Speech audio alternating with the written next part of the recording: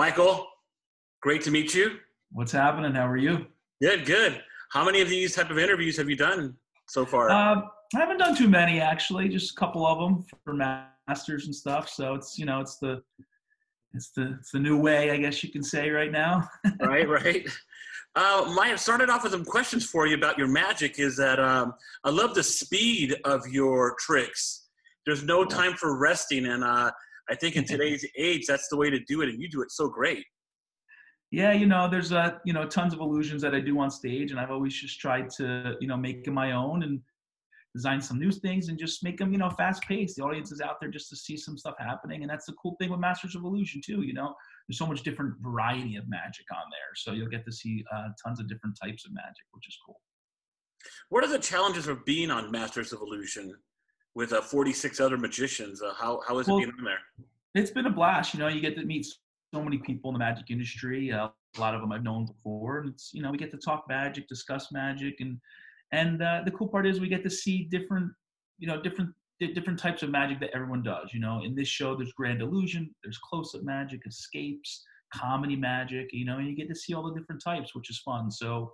Uh, we feed off each other and just you know we're out there just to perform and, and and to uh, make the audience happy, you know, so they can. Right, right. It's really good. It's really fun to watch. It seems really expensive to make these tricks. well, you know, it's uh, sometimes you know we have some builders that build certain things that for us and stuff like that, and I've done some stuff myself over the years. But uh, it's it's our craft. It's our you know it's our passion and you know whatever it takes to be able to perform it and and entertain the audience. That's what we do how does your casting go to hire your assistants? Like, do they have to be able to squeeze into small spots or? Well, you know, it's, it's, uh, I've been doing this for a long time and it always comes down to, you know, some of the, some of the assistants that I've used uh, and dancers, you know, that are in the show and stuff like that. They, you know, they have been with me for over 10 years, you know, and they've been wow. with me from day one and just performing all over the country, all over the world with me. And it's, we've become so tight of a team and, um, and we're you know best of friends you know my, my, wife is best friends with all of the assistants that work with me so it's it's the best to you know be able to travel with them because we have such a uh, friendly relationship. And you know sometimes you have to fit in small boxes and stuff like that but that's the magic part of it so right, right. not going to get into that too much but it's a it's a it's a family you know uh, relationship that we all have together which is really nice. Let's talk about your career. Give me the three points in your career that that got you to where you are now? Like the the one the the moment you knew you wanted to do it, the big break, the the second bigger break, and so forth. How, how did this go? Well, it's been a passion of mine, magic, uh, and being on stage since I've been a little kid. You know, I grew up in New Jersey, and I spent a lot of summers in Atlantic City, which was a real casino town, and I saw tons of magic shows, whether it was you know magic shows, variety shows, or just any type of shows. You know, my mom would take me to see these different shows, and it was just you know a blast to be able to see these people up on stage performing. That was something I knew I wanted to do. And over the years, I said, you know what, magic is really you know that avenue for me. And I went to magic stores, uh, met with the magicians, and I met a lot of magicians um, that were that were performing at the time. And at the time, I met with them. I would hang out after the show and talk with them and stuff like that. So it was a blast to just you know talk to these guys and stay in contact with them and I would just see their shows over and over and over, you know, wow. and you know all summer long and stuff. And that's kind of what got me hooked into the the magic world. And uh, it's a quick little story. You know, some of those guys I got to perform with on Masters of Illusion. You know, so seeing them as a little kid and then being up on stage performing with them was just a dream come true. You know, so uh, that, you know, ever since I've been a little kid, that was something that I knew I wanted to fulfill there. And um, as I got older, I started touring a show, and you know, for me, my big break, I wanted to I want to take my show to Atlantic City because I grew up there. I saw these guys up on billboards. I saw these guys in this on the, on the different theaters there, and that was it. You know, I was persistent and persistent year after year trying to get myself into Atlantic City, and and I finally did. You know, I got in there and it was a blast. You know, I got to perform my show for several years, year after year, season after season, and it was just a dream come true. You know, to drive down those those common roads down that area and to see my face on these billboards and my family and friends to see that you know, to me that was a dream come true, and and I knew something that was uh, was going to be the, for the for the rest of my career. How big? Uh, how big? I'm sorry to interrupt you. How big of a push was AMG then? America's Got Talent. Oh, AG, Oh, AMG. I'm, t- I'm thinking Mercedes. Sorry. AGT, America's Got Talent. Yeah, it was it was it was a blast. You know, I was actually performing at the time in Atlantic City when I was on America's Got Talent, and that was, you know, for me that was the next step to take my, you know, kind of local fame as a magician to take it to the national level, and I did. You know, I got to be on that show, which was amazing. You get so much, uh, you know, you get so much so many different people that are watching that show, so many different people that are following that show, and it was a blast, you know. And I took that show as far as I could take it. Once I did that show, I took the sh- my personal show and went out to Las Vegas and performed at one of the casinos out there in Planet Hollywood. So for that, that was another big break. That was just amazing because as a magician, you always want to bring your magic to Las Vegas.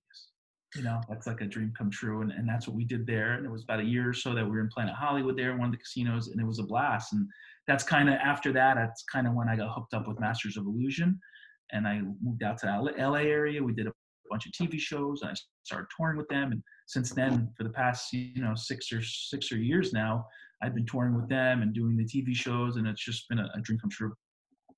What old school magicians do you look up to? Well, you know the the well known guys. You know David Copperfield, Lance Burton. You might hear of even Harry Blackstone.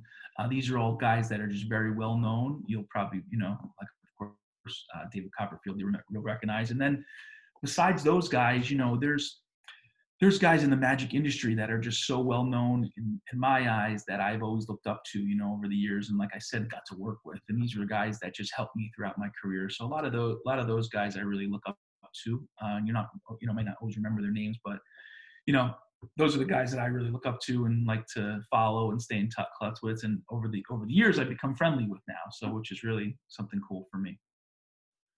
Have they ever had magic in a USO tour? Yeah, actually, um, there have been. And I actually, now thinking back to that, it's been a while, but when I was in performing in Las Vegas, we did a, couple charity events for the USO uh, out in, in Nevada there. And we did, it was, it was not, I never toured with them, but I did a couple um, local ones for the, uh, for the base out there, actually, now I remember but That's I never cool. on tour. But I know a couple other guys that have actually. A couple other magicians have been on the US USO tours. What's the number one thing adults ask you, and what's the number one thing kids ask you? adults always ask, "Can you make my wife disappear?" You know, that's the my, that's always a big one. You know, the guys, "Can you make my wife disappear?" And then I okay. Uh, and kids, they're always just intrigued. You know, they're intrigued of the magic and how we got started into it, and how you know they can become a magician. And that's something I always will sit and chat with kids about because for me, when I was a kid, I would always do that after shows, go talk to the magicians, say, hey, you know, how'd you get started in this? You know, and you know how can i be a part of it and it's just for me it's always i always tell them you know you have to believe in yourself follow your dreams and just keep practicing and and uh and that's what it's really all about i've heard that you do um, some tricks on red carpets yeah we've done we've done i've tons of red carpets i've done there's always magic that has to be involved you know when as a magician no matter you know where you go always gonna someone's always gonna ask you can you do a magic trick you know right right is, is is that like a satisfying thing when you just see people's faces including mine. I'm like, wow, that's it is it's actually magic because there's no way. How did he do that?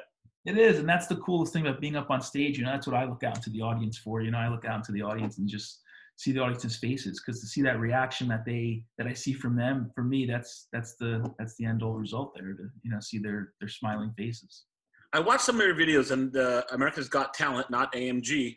Uh, uh, it, it's it was really blew, blew me away how just okay. There's not another girl in there. There's not another. Crazy, all, those, all those girls popping out of that box. you raised that trick. It was like, okay, there's okay, three is the max. It can't go past three, and then there's a fourth one, and it's that was crazy, so right? impressive. That was uh. Do people talk? About, I mean, I'm talking about it. Do people talk about that particular trick a lot? Yeah, all the time, all the time. You know, that was an idea that we had. We came up with because we wanted to.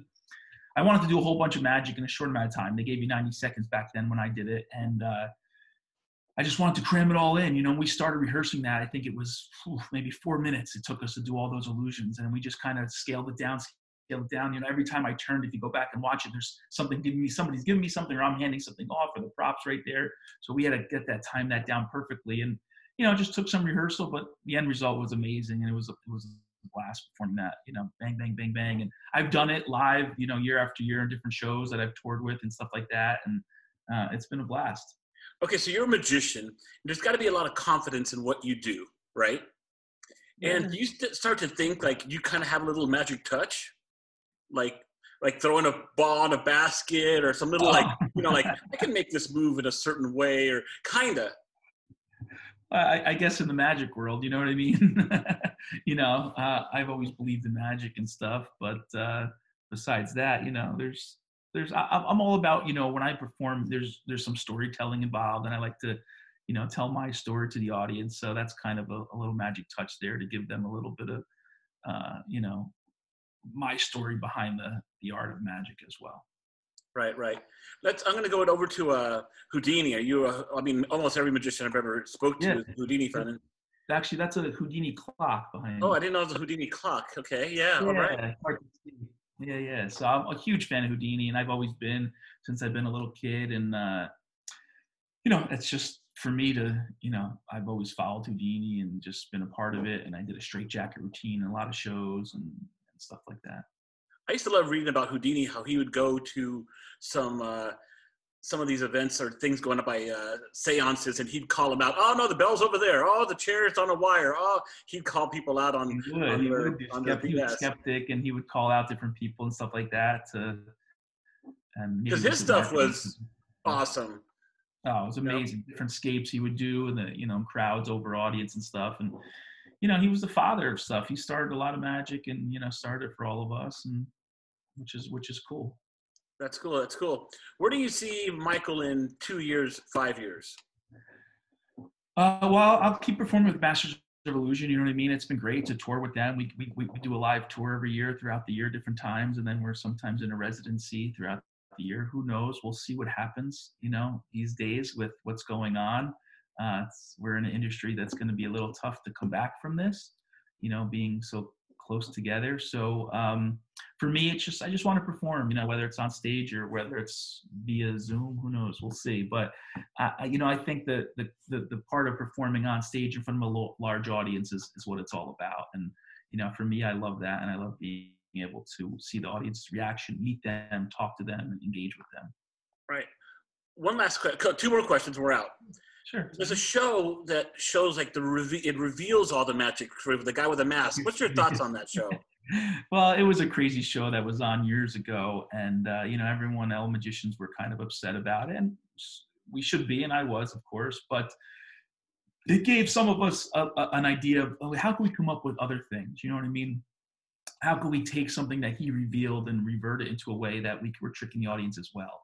And a lot of us did that. You know, I did that in a time when it was out. I remember doing a trick that he revealed and then turned it around into something different. So gave us a, a, a, a, maybe a little avenue to kind of create some new things and, and try other new stuff. But I wasn't a fan of it. I don't think it should be given away. Okay, okay. And uh, well, I think that you answered everything perfectly. You passed the test. Pass the test. Uh, you're supposed to give me one magic trick. You're gonna give me a little trick on camera. uh, Not supposed to, but you have a deck of cards or no? oh, I don't have a deck of cards. You don't. Um, okay, well, I'll show, you know what? I'll show you a little um, illusion here, okay? I have this white board, okay? I want you to check this out. One dot on this side. I'm going to teach you a little magic, okay? Okay. This side I have four dots. This side now I have three dots. And this side now I have six. Did you get it? Got it. Not that hard, right? How many do I have over here? One. Oh, you, you want me to say two because one's hidden? Well, of course, right? I got two over Okay, here. okay. If I put my hand here, there's one here. And how Right. many's here? Okay. Looks like, have, looks like I have It three. looks like you have three, right? Yeah, it's an illusion, and that's what magic's all about. Sometimes it's an illusion. And this side, But I know right now you're gonna flip it on me. Right now you're gonna make this how many do I have over here now? Four, five. five. Correct. So I put my hand here. It looks like I have six. Correct. Correct. And then the other side, see, I have four, I have five. The other side, I still have three, right? Yeah. No, Yes. should have Two plus the three. one. Good. Yeah. How many do I? How many do you think I have? Three. No, two. Oh. two. Technically two. Oh, but you're right. Now I do have three. You're right. You're right. And this side, I have how many? six. You are right. You're catching on here. So six on this side. And what do you think I have on the other side? Nothing. No, I still have three. That would be Okay. I had more than that. And what about the other side? I'll do one more for you. Two. I mean, no, there's eight. Wow, that was awesome. That's a little illusion for you. That, that, that's always like the audience. Like it's over there. It's over here at eight, two, Over there. four. You got us. And that's what it's all about. It's about quick, just getting the audience, rea- you know, their reaction, and making sure they're having fun and stuff like that. And that's what it's all about, especially in these times as well. So Good show. Good show, Michael. Next time I'm in uh, Atlantic City, I'm going to come check you out. And definitely, you're out in LA area. I'm in LA, yeah. Cool. I'm in New Jersey right now. So But I'll be Uh, out there and I'll come check out your show. yeah, definitely awesome. Thanks for having me on and stuff. Cool. Enjoy the show. Enjoy the show this Friday. It's a it's a cool episode.